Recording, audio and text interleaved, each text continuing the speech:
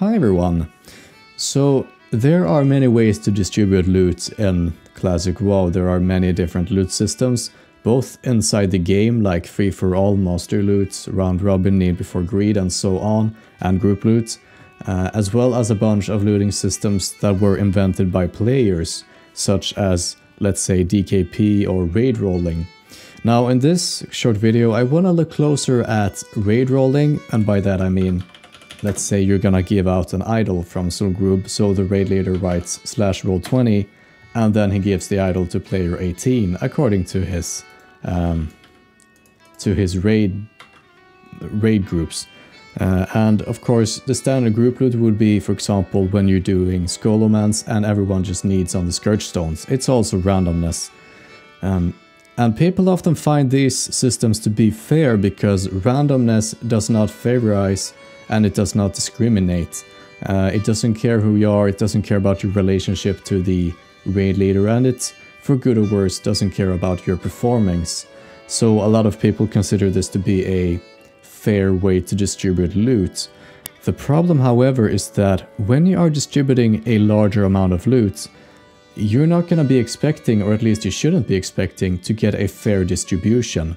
And to illustrate this, I have decided to make a simulated distribution of 80 Onyxia bags. And so, here we are quickly in Excel, just look at the math. So I took a random number generator and asked it to generate 80 numbers between 1 and 40 and this is exactly what a raid leader would have done over time as he or she distributed the 80 bags. Uh, so here we have the first 40 rolls in column A. For example, there is 1 1, there's no 2, there's 2 3s, uh, no 4, no 5, 1 6 and so forth. And then we have the uh, other 40 rolls. And here we have just the frequency for each number. So like I said, there is one one. There are no twos, there is two threes and so on and forth. Same thing for the second column. And here we have them summarized. Now, I decided to plot it because it's much easier to see, at least for me. Now, if you average out 80 bags over 40 players, that's gonna be 2 bags per player, right? And if you took the average uh, number of bags per player according to this chart, you would also get 2. The problem is that, let's actually count this, more than half the raid does not have 2 bags. Uh, as you can see here, I've summarized it. So actually only 18 players have 2 bags. Everyone else has either more or less than that. And as you can see here, there are 6 dots on the zero line, meaning from the distribution of 80 bags, 6 players didn't get a single one. And they're not gonna be too happy about this. There were 6 players who only got one, that's also below average. You know, the average is 2 here. Um, 18 players got 2, and then we had a bunch of lucky people, you know, floor players who got 3, we even have 4 players who got 4, and there are 2 lucky players who even got 5 bags. And as you can see, I summarized it here. So there are gonna be 12 people that are very unhappy, because they're standing here with either no bag or only one bag. Meanwhile, there's a bunch of players who have all either 4 bags or even 5. And this is completely normal if you've been using raid roll or just any kind of loot distribution where the only mechanism of, let's say, distributing the loot is randomness. Um, what you're gonna be expecting if we're to generalize this is that you're gonna get what you call a normal distribution. Where most people are gonna stack up in the middle having either average, which would be which would be 2, or just a low below or above, that's gonna be 1 or 3.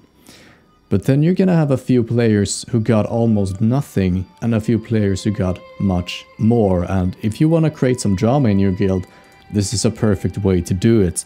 Because even if the, I'm gonna call it the mechanism of loot distribution is unbiased, it is not gonna create a fair outcome. And I'm sure you've noticed that if your guild is clearing Onyxia or whatever that some players got so many bags they've started filling up their bank with them and meanwhile, you're probably the sucker or one of the suckers who only got one or maybe none at all. And then, you know, the question might be, well, if we can't use just random numbers. What should we do? And the game actually has a solution for this, and that is called the round robin, which I'm sure you've seen people do or even done it yourself in Stratholme Live whenever they're distributing the, um, what are they called? The orbs, I can't remember the exact name.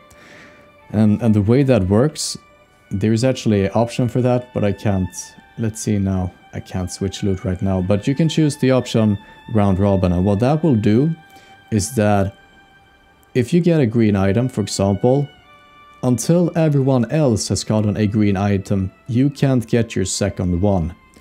So for example with the orbs, if you get the first one, then you won't get your second one until everyone else has gotten theirs. So what you've basically done is added in another, let's say, part of loot distribution mechanism where it says that if you've gotten one, there, you can't receive your second one until everyone else has gotten one. And what that would do would, let's say that we're distributing the 40 bags again.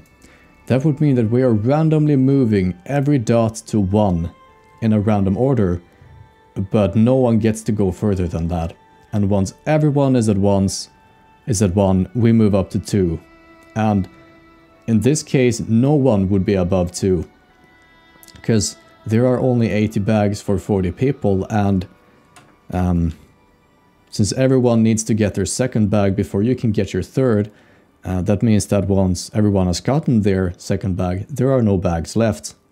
Meaning that everyone, every single dot would be at the line in the middle, which in my opinion is way more fair.